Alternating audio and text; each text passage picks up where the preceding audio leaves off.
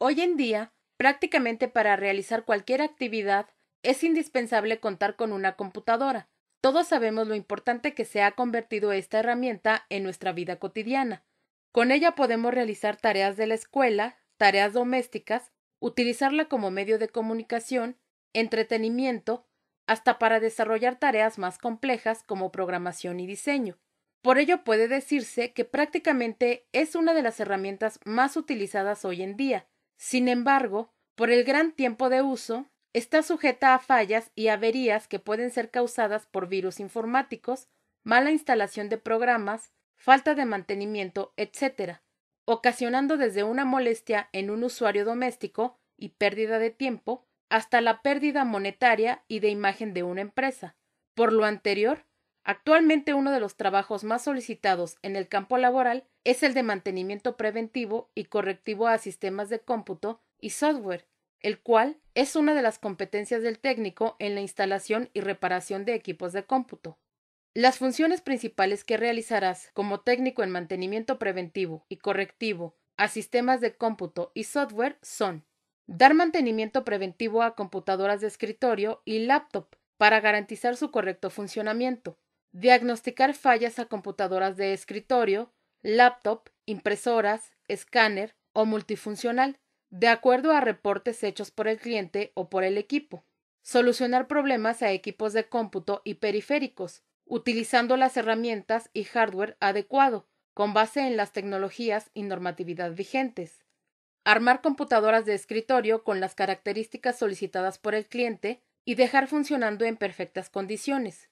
Algunas de las tareas que desempeñarás son instalar, configurar y solucionar problemas de sistemas operativos, eliminar virus informáticos, agregar elementos de hardware y software a computadoras, mantenimiento y optimización, realizar copias de seguridad de los contenidos almacenados por el usuario en la computadora, armar computadoras e instalar programas y drivers dejando en perfecto funcionamiento, detectar y reemplazar componentes que estén dañados, realizar tareas de actualización tanto de software como de hardware a computadoras, dar alguna explicación de cómo utilizar la computadora o algún programa. Para ello, requieres de habilidades para diagnosticar y dar solución a problemas, así como contar con actitudes, hábitos y valores relacionados con la responsabilidad, honestidad y sinceridad.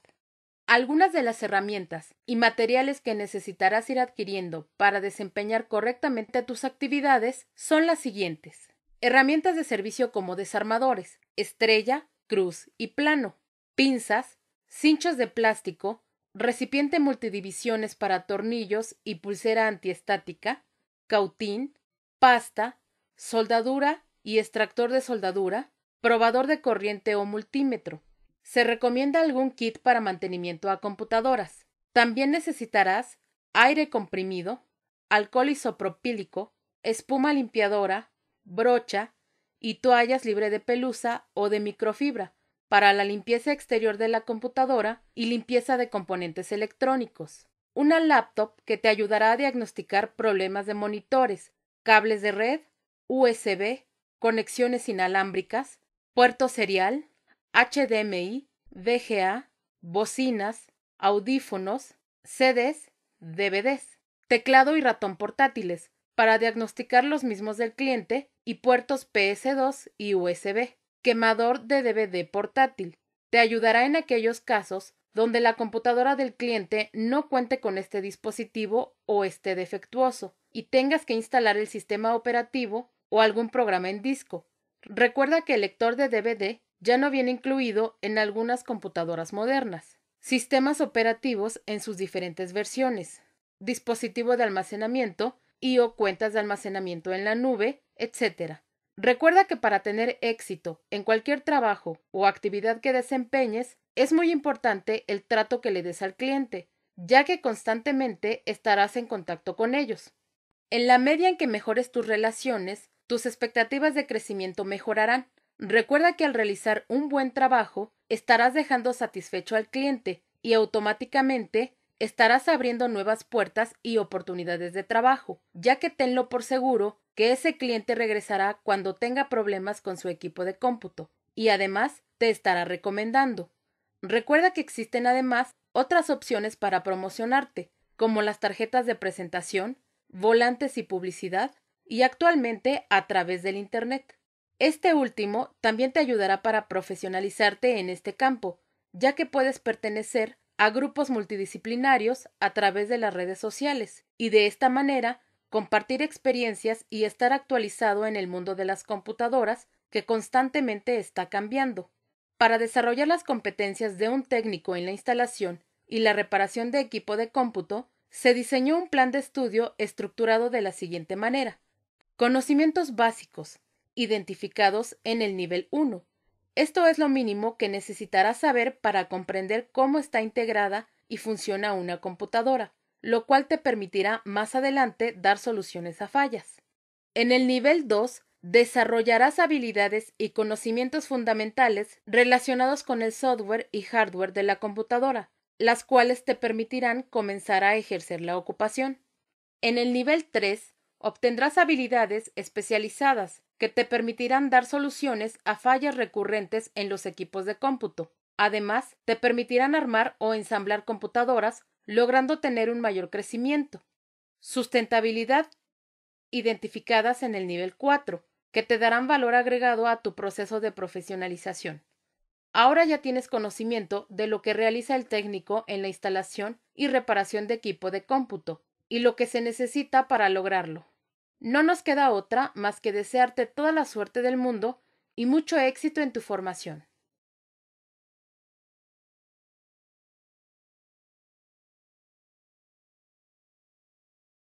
Fuente de alimentación de la computadora.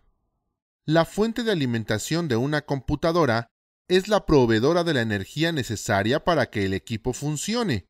Si este elemento tiene fallas, podría afectar seriamente uno o varios componentes del equipo.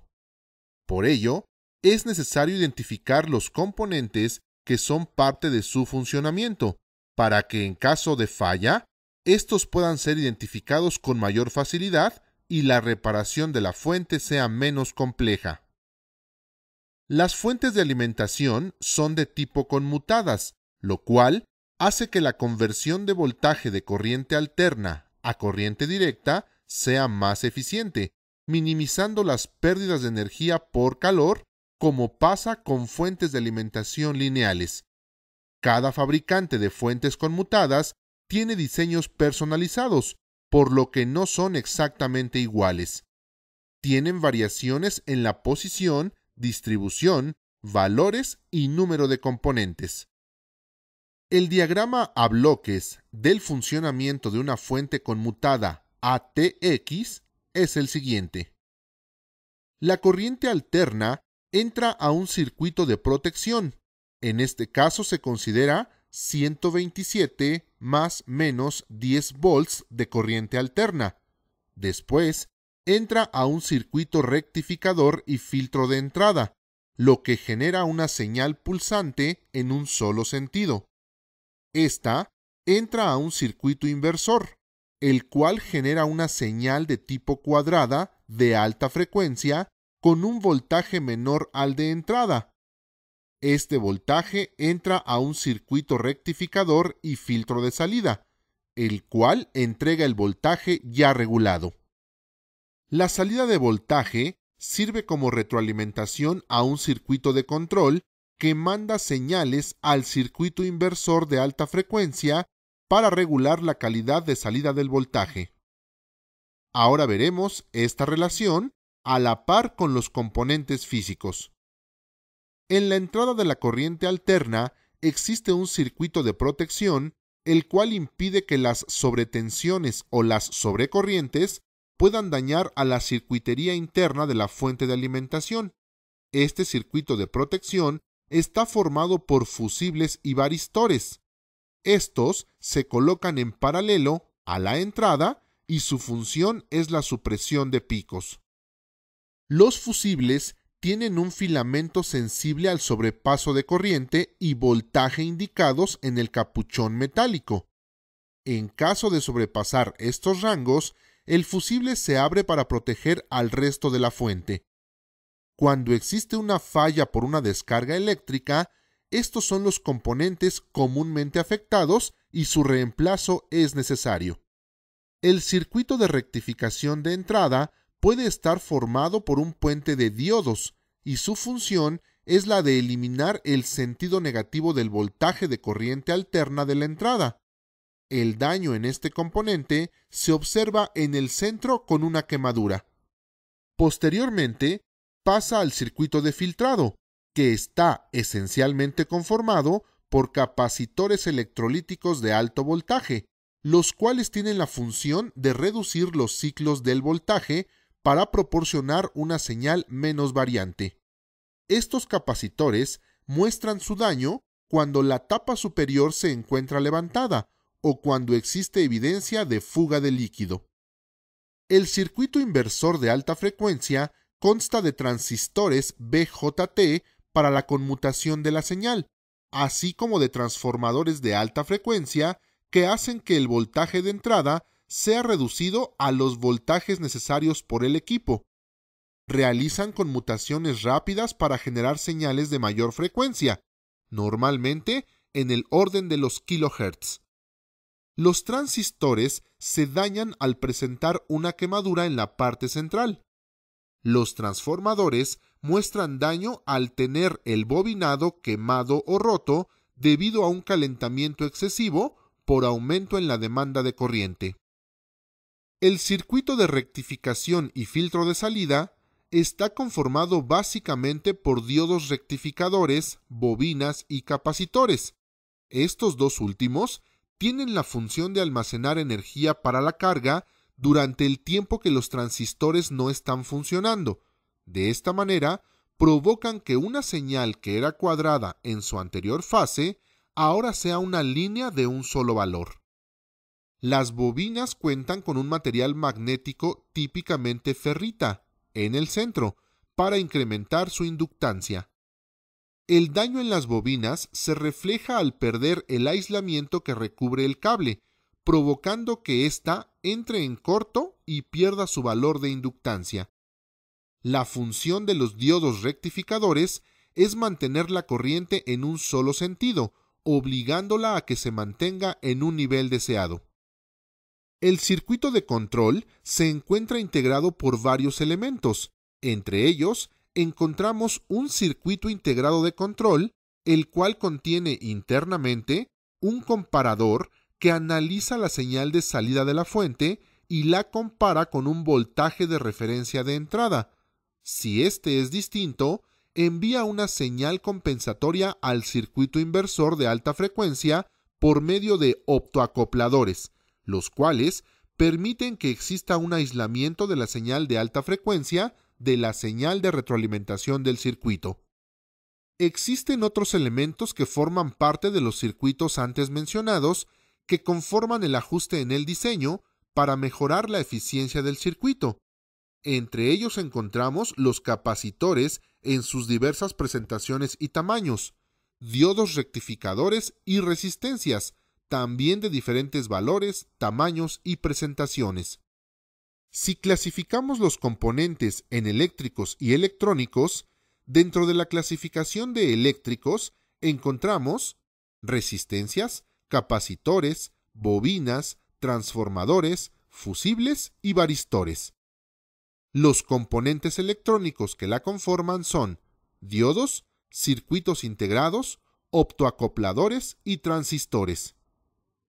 Recuerda, la fuente de alimentación conmutada consta de cinco circuitos principales, de protección, de rectificación y filtro de entrada, inversor de alta frecuencia, rectificador y filtro de salida, y controlador.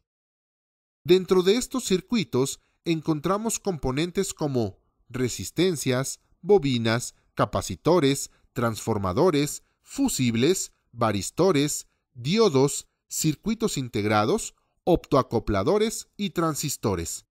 Todos se pueden clasificar en dos grupos, eléctricos y electrónicos.